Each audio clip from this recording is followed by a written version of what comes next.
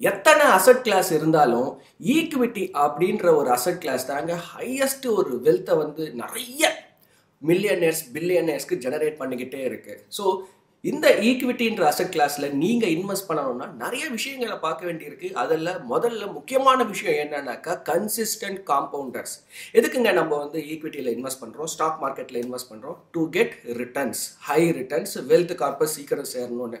So அந்த wealth corpus சேரணும்னாக்கா அந்த stock வந்து மேலே ரேலி ஆகும் போது மட்டும்தான் உங்களுக்கு ஒரு பெரிய ப்ராஃபிட் சேரும். அந்த ரேலி எப்படி இருக்கணும்னாக்கா லாஸ்ட் ஒரு டுவெண்ட்டி இயர்ஸாக கன்சிஸ்டண்ட்டாக அந்த அந்த ஒரு கம்பெனி வந்து ப்ராஃபிட் பண்ணி இருந்ததுன்னா காம்பவுண்ட் ஆகிருக்கும் அந்த ஸ்டாக்கு அண்ட் மோஸ்ட் இம்பார்ட்டன்ட்லி அடுத்த ஒரு பத்து வருஷத்துக்கு அந்த ஸ்டாக்கு அதே ப்ராஃபிட்டை கொடுக்கறதுக்கான ஒரு பொட்டென்ஷியல் இருக்கணும். இது பேர் தான் வந்து கன்சிஸ்டன்ட் காம்பவுண்டர்ஸ் ஸோ இந்த ஒரு வீடியோவில் வந்து உங்ககிட்ட வந்து top three stocks for next ten years ஏன்னா ஸ்டாக் மார்க்கெட் இன்வெஸ்டிங் அப்படின்னு பார்த்தீங்கன்னாக்கா இட்ஸ் வெரி காம்ப்ளெக்ஸ் ஒரு மியூச்சுவல் ஃபண்டாவது ஒரு ஃபண்ட் மேனேஜர் இருக்காது. நிறைய செட் பேராமீட்டர்ஸ் இருக்குது ஈஸியாக நம்ம என்ன பண்ணிடலாம்? ஐடென்டிஃபை பண்ணிடலாம். பட் ஸ்டாக்ஸில் வந்து நிறைய விஷயங்களை நீங்கள் ரிசர்ச் பண்ணி அனலைஸ் பண்ணி அதுக்கப்புறம் தான் இன்வெஸ்ட் பண்ணணும். ஸோ அடுத்த ஒரு பத்து வருஷம் ஒரு ப்ராஃபிட்டபிள் இயராக இருக்குமா? உம், அந்த கம்பெனி நிறைய ப்ராஃபிட் கொடுக்குமான்றதுக்கு வந்து கண்டிப்பாக அந்த ஒரு ரிசர்ச் பண்ணணும். நம்பர் ஒன் அது. நம்பர் டூ பார்த்தீங்கன்னாக்கா நீங்கள் ஒரு பெரிய வெல்த் கார்ப்பை சேர்க்கணும் அப்படின்னாக்கா இந்த ஸ்டாக் மார்க்கெட்டில் நான் கற்றுக்கிட்ட ஒரு விஷயம் என்னென்னா இந்த லாஸ்ட் ஒரு twenty two years of investing and வாட்சிங் த ஸ்டாக் மார்க்கெட்டில் வந்து quality companies alone give returns நிறைய பேர் என்ன பண்ணுறாங்க பென்னி ஸ்டாக்ஸு இந்த ஹண்ட்ரட் ருபீஸ்க்கு கம்மியாக இருக்கிறது டுவெண்ட்டி ஃபைவ் ருபீஸ்க்கு கம்மியாக இருக்கிற மாதிரியான ஸ்டாக்ஸ் மட்டும் ரெக்கமெண்ட் பண்ணுங்க வாங்கணும். ஒரு ஸ்டாக் வந்து ப்ரைஸ் ரொம்ப கம்மியாக இருக்குது அப்படின்னாலே அது ஏதோ ஒரு குவாலிட்டியில் காம்ப்ரமைஸ் ஆகிருக்குன்னு தான் அர்த்தம். தயவு செஞ்சு ஒரு பெரிய ஒரு வெல்த் சேர்க்கணும் அப்படின்னும் போது நீங்கள் வந்து இதை மாதிரியான ஒரு நான் குவாலிட்டி ஸ்டாக்கில் இன்வெஸ்ட் பண்ணக்கூடாது. மூணாவது பார்த்தீங்கன்னா குவாலிட்டி ஸ்டாக்கு எப்போவுமே எக்ஸ்பென்சிவாக தான் இருக்கணும். ரீசனபிள் எக்ஸ்பென்சிவாக தான் இருக்கும் அது. ஸோ ஓகே வேல்யூவேஷன்ஸ் அதிகமாக இருக்குது இது வரைக்கும் ரன் அப் இதுக்கு மேலே இது ரன் அப் ஆகுமா? ப்ராஃபிட் கொடுக்க கொடுக்க கண்டிப்பாக என்ன ஆகும்னா ஸ்டாக்ஸ் மேலே போகும். ஸோ அந்த கம்பெனி வந்து ப்ராஃபிட்டபிலிட்டி ஜெனரேட் பண்ணுதான்னு பாருங்கள் சிம்பிளாக சொல்லணுன்னாக்கா ஒரு ஸ்டாக் வந்து டுவெண்ட்டி பர்சன்ட் சிஏஜிஆர் கொடுத்துட்ருக்கு கன்சிஸ்டண்ட்டாக அப்படின்னாக்கா நாலு வருஷத்தில் உங்கள் ப்ரைஸ் அப்படியே டபுள் ஆகிடுங்க அண்ட் மோஸ்ட் இம்பார்ட்டன்ட்லி இந்த மாதிரியான ஒரு கன்சிஸ்டன்ட் காம்பவுண்டர்ஸ் ஒரு போரிங் இன்வெஸ்டிங் அப்படின்னு தான் சொல்லணும். ஏன்னா இந்த பேர் எல்லாமே வந்து ரினவுண்டு நேமாக தான் இருக்கும். பட் அந்த ஒரு குவாலிட்டி வந்து அந்த ரினவுண்டு நேமில் இருக்கும்போது கண்டிப்பாக ஒரு ஹை ப்ராஃபிட் வரும். ஸோ இந்த ஒரு காம்பினேஷனில் top three stocks for next ten years பிளைண்டாக நீங்கள் இன்வெஸ்ட் பண்ணாலும் உங்களுக்கு ஒரு ப்ராஃபிட் கொடுக்கக்கூடிய ஸ்டாக் ஸோ குயிக்காக வந்து இந்த வீடியோ ஸ்பான்சர் பற்றி சொல்லிடலாம். இந்த வீடியோவை ஸ்பான்சர் பண்ணிட்டு இருக்கிறது ஆலைஸ் ப்ளூ அப்படின்ற ஒரு கம்பெனி இவங்க என்ன பண்ணியிருக்காங்கனாக்கா ஒன்லி ஆப்ஷன்ஸ் அப்படின்னு ஒரு ஃபீச்சர் வச்சுருக்காங்க. தே ஆர் ப்ரெசென்டிங் நீங்கள் ஒரு ட்ரேடராக இருந்தாக்கா இந்த ஒரு ஆப்ஷன் உங்களுக்கு ரொம்பவுமே சூட்டபுளாக இருக்கும். செக் பண்ணி பாருங்கள் ஏன்னாக்கா ட்ரேடிங்கில் வந்து லாஸஸ் அதிகமாக வரதுக்கான ஒரு பாசிபிலிட்டி இருக்குது ப்ராஃபிட்டும் நிறைய வரத்துக்கான ஒரு ப்ராஃபிட் இருக்குது ஸோ நீங்கள் வந்து லாஸஸை மினிமைஸ் பண்ணணும் அப்படின்னாக்கா இவங்க வந்து ஹெட்ஜிங் ஆப்ஷன்ஸ் கொடுக்குறாங்க. ஸோ தட்ஸ் ஒண்டர்ஃபுல் செகண்டு இந்த ஒன்லி ஆப்ஷன்ஸில் நீங்கள் யூஸ் பண்ணும்போது பெரிய ஒரு மார்ஜின் தேவையில்லை. Better profit and loss and reduced ரிஸ்க்னாக்கா only options கண்டிப்பாக கன்சிடர் பண்ணுங்க. Welcome to Satish picks okay மூணு ஸ்டாக்கு ஒரு லாஸ்ட் நெக்ஸ்ட் ஒரு டென் இயர்ஸ் அப்படியே ஒரு பெரிய ஒரு ரிட்டர்ன் கொடுக்கணும் அப்படின்னாக்கா நம்பர் ஒன் அந்த ஸ்டாக் அந்த ஒரு பர்டிகுலர் செக்டாரில் வந்து மார்க்கெட் லீடராக இருக்கணும். Reasonable valuation tried and tested performance last ஒரு இருபது வருஷம் நல்ல ரிட்டர்ன்ஸ் கொடுத்துருக்கணும். ஸோ நெக்ஸ்ட்டு ஒரு பத்து வருஷத்துக்கான ஒரு பொட்டென்ஷியலும் இருக்கணும். ஸோ இவ்வளோ தான் இந்த ஒரு அனாலிசிஸ் பேசிஸில் தேர்ட் ரேங்கிங்கில் இருக்கக்கூடிய ஸ்டாக் என்னன்னு பார்த்தீங்கன்னா ஏஷியன் பெயிண்ட்ஸ் ஏஷியன் பெயிண்ட்ஸ் வந்து it's not only a painting company இன்னைக்கு வந்து ஒரு இன்டீரியர் டெக்கார் கம்பெனின்னு தான் சொல்லணும். எயிட்டி இயர்ஸ்க்கு மேலே இந்த ஒரு ஒரு செக்டாரில் இருந்துட்டு இருக்க ஒரு கம்பெனி இது. இவங்க எங்கெல்லாம் இருக்காங்கனாக்கா paintings wall covering water proofing texture paintings wall stickers interior decor புதுசாக வந்திருக்காங்க இப்போ. Modular kitchens sanitary ware lightings நிறைய நிறைய விஷயங்கள். இப்போ வந்து ஒரு ஹவுசிங் அப்படின்னு எடுத்தாலே எண்ட் டு எண்ட் பெயிண்டிங்கில் மட்டும் இருந்துட்டு இன்னைக்கு எண்ட் டு எண்ட் இன்னைக்கு வந்து ப்ளே பண்ணிட்டு இருக்காங்க. இந்தியாவில் மட்டும் இல்லைங்க Asia Middle East Africa and South Pacific நிறைய என்ன பண்ணியிருக்காங்க ஒரு இந்தியன் எம்என்சி அப்படின்னு சொல்லலாம். இவங்க பார்த்தீங்கன்னாக்கா பெரிய ஸ்ட்ரென்த் இந்த கம்பெனிக்கு வந்து one point five lakh retail distributors ஒரு பெரிய ஸ்ட்ரென்த்துங்க அது. எயிட் இயர்ஸ் இந்த கம் ஒரு ப்ரொஃபஷனில் இருந்திருக்காங்கனாக்கா ரொம்ப சுலபமாக அந்த பெரிய ஒரு டிஸ்ட்ரிபியூஷன் சென்த் வச்சுருப்பாங்க. இந்தியாவில் மட்டும் பார்த்தீங்கன்னாக்கா லெவன் மேனுஃபேக்சரிங் ஃபெசிலிட்டிஸ் இருக்குது அவுட் சைடு இந்தியாவில் பதினேழு செவன்டீன் மேனுஃபேக்சரிங் ஃபெசிலிட்டிஸ் இருக்குது இந்த ஸ்டாக் பார்த்தீங்கன்னாக்கா last ten years twenty two பர்சன்டில் வந்து கேகர்னு சொல்லக்கூடிய சிஏஜிஆர் க்ரோத் கொடுத்துக்கிட்டே இருந்திருக்கு. கன்சிஸ்டண்ட்டாக twenty two percentage one of the high performing Um, wealth generator இது.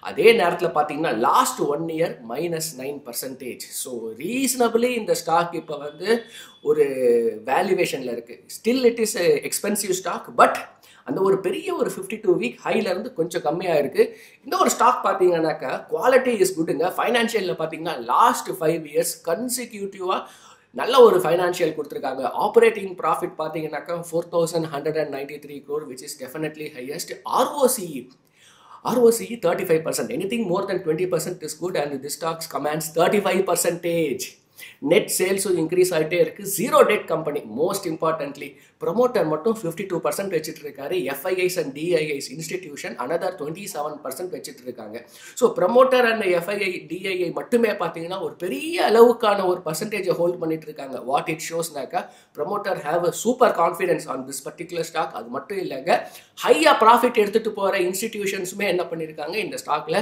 நிறைய இன்வெஸ்ட் பண்ணிட்டு இருக்காங்க ஸோ இந்த ஸ்டாக்கோட என்னோட பர்சனல் பை ஸ்கோர் அப்படின்னு பார்த்தீங்கன்னா seven point one against ten so it is a good buy score consistent wealth compounder number த்ரீல இருக்கிறது ஏஷியன் பெயிண்ட்ஸ் ஓகே செகண்ட் ரேங்க்ல இருக்கக்கூடிய ஸ்டாக் டிசிஎஸ் டாடா குரூப்போட ஒரு ஃப்ளாக்ஷிப் கம்பெனி அப்படின்னு சொன்னோம்னா கண்டிப்பாக இது வந்து TCS company one of the ஐடிலேயே பார்த்தீங்கன்னாக்கா it is a biggest company in terms of market கேப்னு சொல்லலாம் இன் டர்ம்ஸ் ஆஃப் எம்ப்ளாயீஸ்னு சொல்லலாம் in terms of revenues you take any parameters ஒரு பெரிய ஒரு கம்பெனி ஏன்னா ஐடி செக்டாரில் தேர்ட்டி செவன் பர்சன்ட் கான்ஸ்டிடியூட் யார் பண்ணுறாங்கனாக்கா டிசிஎஸ்ங்க ஒரு செக்டார்லேயே thirty seven percent contribution is very huge and market cap is twelve point three two lakh crore one of the biggest company இது இந்த கம்பெனி எந்தென்னெல்லாம் ஒரு ப்ரிடாமினண்ட்டாக ப்ரெசென்ட் ஆகிருக்காங்க ஐடி சொல்யூஷன்ஸ் கொடுத்துட்ருக்காங்க பார்த்தீங்கன்னா ஃபஸ்ட்டு பேங்கிங் அண்ட் ஃபைனான்ஷியல் பிஎஃப்எஸ்ஐன்னு சொல்லுவாங்க.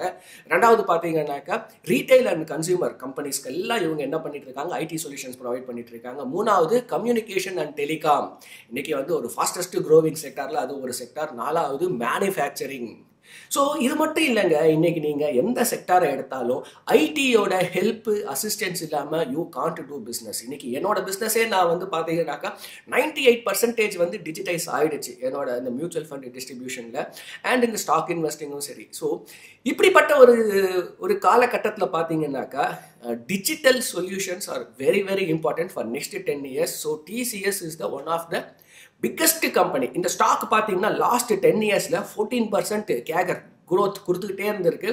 லாஸ்ட் ஒன் இயர் பார்த்தீங்கன்னாக்கா மைனஸ் ஒன் பர்சன்ட் இந்த ஒரு பிஸ்னஸ் சைக்கிள்னு சொல்லணும். ஐடி இஸ் கோயிங் த்ரூ ஒரு மியூட்டட் பிஸ்னஸ் சைக்கிள் லாஸ்ட் ஒரு டூ இயர்ஸ் அவங்க என்ன பண்ணியிருக்காங்க? ஒரு ஃப்ளாட் ஃபைனான்ஷியல்ஸ் இந்த இந்த ஒரு கம்பெனி இது. லாஸ்ட் த்ரீ குவார்ட்டர்ஸ் பார்த்தீங்கன்னாக்கா sales con constant profit is also ஒரே ஒரு கான்ஸ்டன்டான ஒரு ப்ராஃபிட்ஸ் ஸோ அந்த ஒரு பிஸ்னஸ் சைக்கிளில் it is definitely a bad time for IT and come IT and all companies so இந்த மாதிரியான ஒரு டைமில் இந்த மாதிரியான ஒரு ஸ்டாக்கை பிக்கப் பண்ணிங்கன்னா ஒரு ரீசனபிள் வேல்யூவேஷனில் ஃபார் லாங் டேர்முக்கு இன்வெஸ்ட் பண்ணுறதுல நல்லாயிருக்கும் உங்களுக்கு. எதனாலனாக்கா quality company best in quality and muted ஃபைனான்ஷியல்ஸ்னும் போது ஸ்டாக் ஒரு பெரிய ரேலியில் இருக்காது.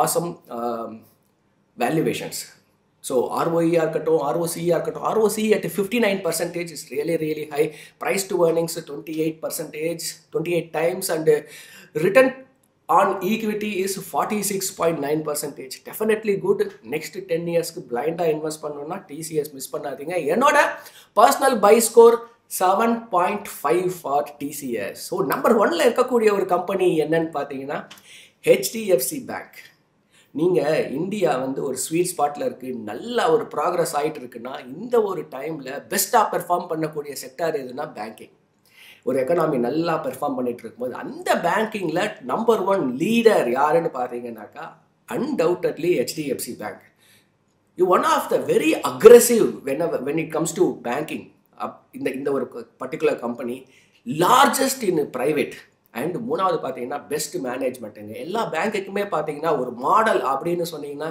கண்டிப்பாக it is an HDFC bank இது. இந்த பேங்க் இப்போ வந்து ப்ரைவேட் பேங்கிங் ஒரு நல்ல ஒரு ரேலி வந்தது. But this bank did not participate in private banking rally ஒரு ஸ்டாக் வந்து ஒரு தௌசண்ட் செவன் ஹண்ட்ரட் போயிடுச்சு. பட் அகெயின் ஒரு டிப் வந்துருக்கு. இப்போ கன்சாலிடேஷன் நடந்துட்டு இருக்கிறதுனால இப்போ ஹெச்டிஎஃப்சியில இருந்து நிறைய கஸ்டமர் பேஸ் வந்திருக்கு. அந்த ஒரு கஸ்டமர் பேஸ் அட்வான்டேஜை எடுத்து இந்த கம்பெனி க்ரோ ஆகிறதுக்கு ஒரு பெரிய ஒரு பாசிட்டிவ் இருக்குங்க.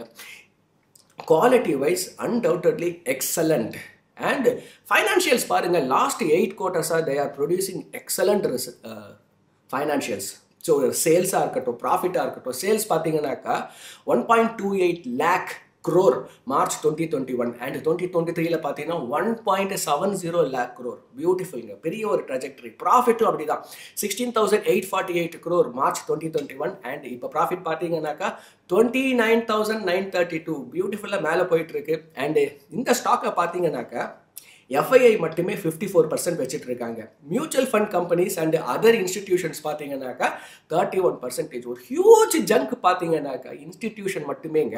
எயிட்டி ஃபைவ் பர்சன்ட் கிட்டத்தட்ட எயிட்டி ஃபைவ் பர்சன்ட் என்ன பண்ணிருக்காங்க இன்ஸ்டிடியூஷன் மட்டுமே ஹோல்டு பண்ணிட்டு இருக்காங்கன்னா clearly this is a darling stock for investor so இந்த ஸ்டாக்கோட பர்சனல் பை ஸ்கோர் பார்த்தீங்கன்னாக்கா eight so don't miss this opportunity so இந்த மூணு ரெக்கமெண்டேஷன்ஸ் வந்து இது என்னோட ஒப்பீனியன் நீங்கள் இதில் இன்வெஸ்ட் பண்ணுறீங்க அப்படின்னா number one do your own research or consult your financial advisors because stock investing is a complex one உங்களுக்கு அந்த சூட்டபிலிட்டி இருக்கா? அந்த ஒரு ஹைஸ் அண்ட் லோஸ் இது போகும்போது உங்களால் விட்ஸ்டாண்ட் பண்ணக்கூடிய அந்த ரிஸ்க் டாலரன்ஸ் இருக்கா? நிறைய விஷயங்கள் பார்க்க வேண்டியிருக்குங்க.